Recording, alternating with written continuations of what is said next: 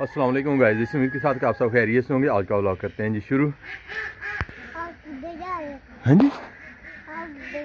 मैं बतखों की तरफ़ जा रहा हूँ। आपने क्या करने जाना है?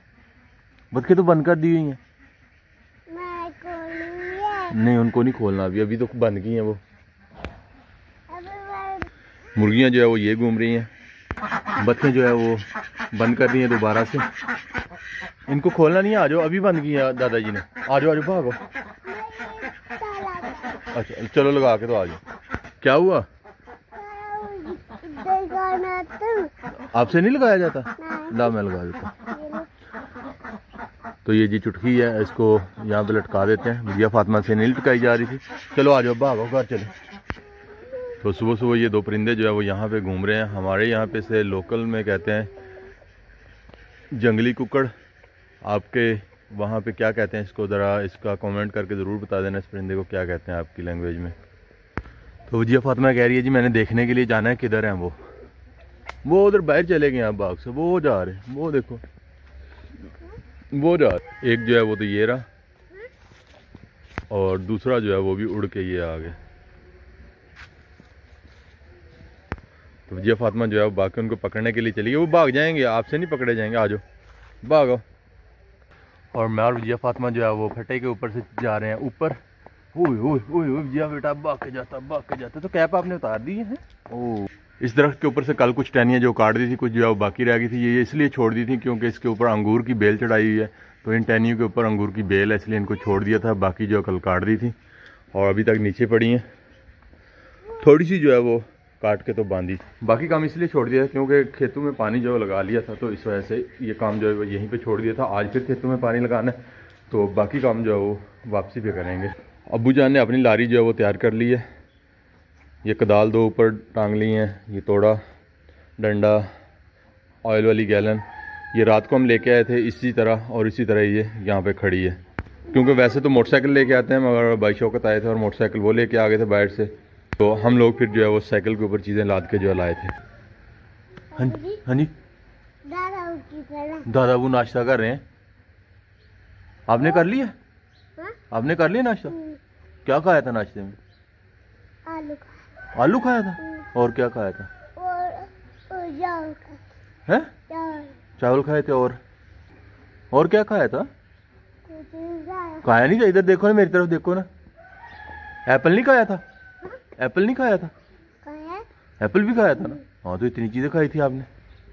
तो छोटी मुर्गियाँ जो है वो भी जाली में बंद कर दी हैं तो माशाल्लाह अब काफ़ी सेहतमंद लग रही हैं। दवाई शे इनको दी है और अभी काफ़ी तंदुरुस्त एक्टिव और भागती दौड़ती नज़र आती हैं ये। तो विजय फातिमा की मुर्गियाँ ठीक हो गई हैं? हम्म, बिल्कुल ठीक हो गई हैं। वो भी बिल्कुल ठीक हो गई हैं। विजय फातिमा की तरह है? तो चलिए जी, जल्दी से नाश्ता करते हैं और खेतों की तरफ़ चलते हैं। हमारा गंदम का काम जो है वो काफ़ी लेट हो रहा है। हमारी कोशिश है जल्दी से जल्दी जो है निपटाया जाए, मगर टाइम कुछ इस तरह का बन जाता है कि काफ़ी लेट होता जा रहा है। नाश्ते में चाय जो है वो तैयार हो गई है। साथ में तैयार हो रहे हैं पराठे। हाँ बेटा जी, अल्लाह हाफिज। अल्लाह हाफिज अल्लाह हाफिज, हम खेतों में जा रहे हैं। अल्लाह हाफिज बोलो, दादाजी वो जा रहे हैं तो मैं भी मोटरसाइकिल लेके जा रहा हूँ। अल्लाह हाफिज बोल। अल्लाह हाफिज बोल। नहीं आपने नहीं जाना लाफिज बोलो, जल्दी से जल्दी से लाफिज देखो देखो जी, बिल्ला बन गया वो। आँखें छुपा लेता हो। आपको नज़र आ रहा है? वही डरता है। तो जी, अल्हम्दुलिल्लाह, खेतों में हम लोग पहुँच गए हैं और काम जो है वो शुरू करते हैं, अल्लाह का नाम लेते हैं। हाउस जो है वो काफ़ी पड़ी है, मौसम जो है वो भी काफ़ी ठंडा है। मैं जैकेट जो है वो उतार रहा हूँ, क्योंकि यहाँ पे जैकेट पहन के तो काम नहीं होगा। तो इसलिए स्वेटर ही मैंने पहना हुआ ठंडा हो चुका है मौसम। वैसे सबसे पहले चल के तो पीटर इंजन जो है वो स्टार्ट करते हैं, उसके बाद फिर देखते हैं। तो जी, अल्हम्दुलिल्लाह पीटर इंजन में हम लोग पहुँच चुके हैं और पीटर इंजन को हम जाते हुए रात को डाम गए थे ड्रम की मदद से।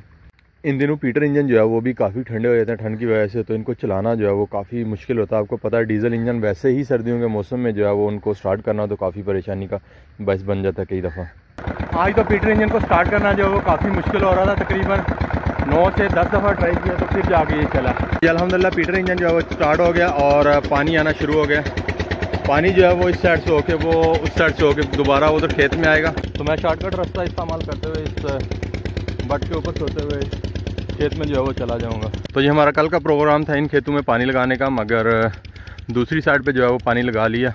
तो ये खेत जो है वो रह गया। रात को हम काफ़ी लेट तक जो है वो खेतों में रहे, तकरीबन नौ दस का टाइम जो है हो चुका था जब हम लोग वापस गए।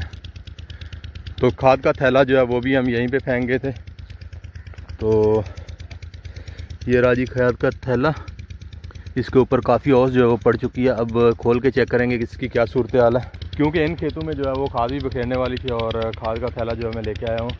तो खाद डालनी थी, मगर दूसरी साइड पे पानी लगाने की वजह से इस साइड का काम जो है वो टोटली हमने स्टॉप कर दिया।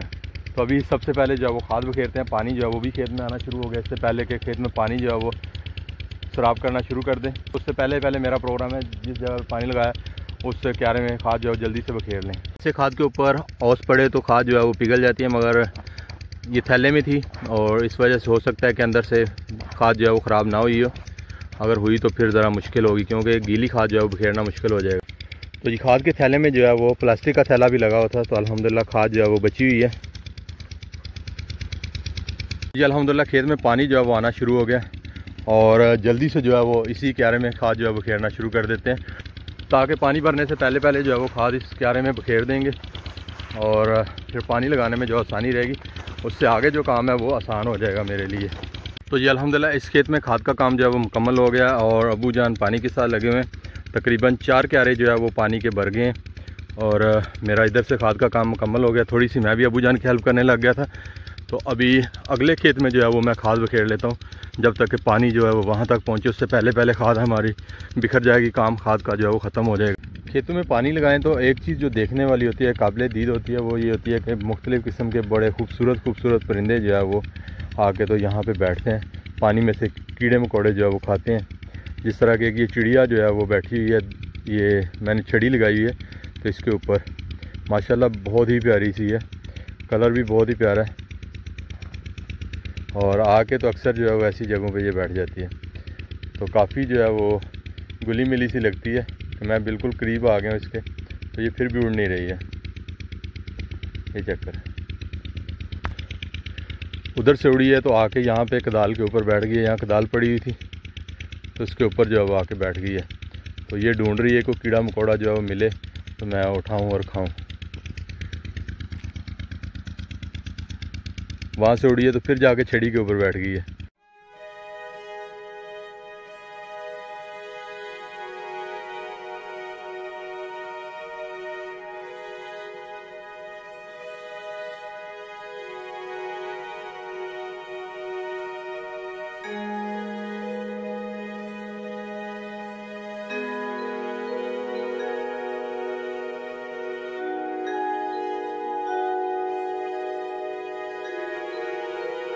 तो ये जी यहाँ पे अभी काफ़ी सारे मज़ीद परिंदे जो है वो आ गए हैं और इनमें से दो जो है वो कौओं की किस्में एक ये कौवा जो साथ है बैठा हुआ ये वाला। ये पहाड़ी कौवा और साथ जो बैठे हैं, जो आम हमारे इलाके में जो है वो कौए होते हैं, वो वाले। साथ ये बगले हैं। बगले की भी दो किस्में एक वो ब्राउन कलर में और एक जो है वो वाइट कलर में। तो जी अलहमदिल्ला हमारा काम जो है वो मुकम्मल हो गया। मगरिब की अजान जो है वो भी हो गई है और अभी निकलते हैं वापसी के लिए, घर के लिए। सामान जो है वो समेटते हैं। सामान समेट के फिर निकलते हैं। तो उम्मीद है आपको हमारी आज की वीडियो जो पसंद आएगी, पसंद आए तो उसे लाइक कर दीजिएगा शेयर कर दीजिएगा। अपने दोस्त अहबाब के साथ और अपना बहुत बहुत बहुत सारा ख्याल रखिएगा। इसी के साथ हमें दीजिए इजाज़त, सदा खुश रहें, अल्लाह हाफिज़।